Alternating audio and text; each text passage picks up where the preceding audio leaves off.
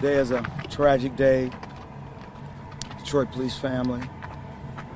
Our officers from the 12th precinct, uniform scout car 1210 responded at about 7:20 this evening to a home invasion in progress.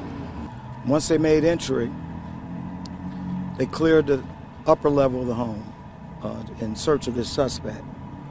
Uh, as they began to go downstairs, the suspect, who was armed with a high powered rifle, began to open fire on the officers.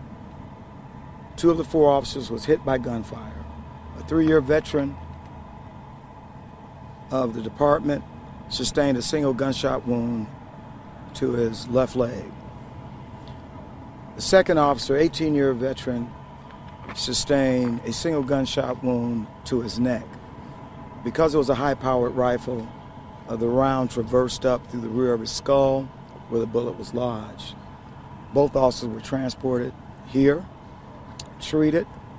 Uh, the one officer uh, with the wound to his leg is right now in temp serious condition.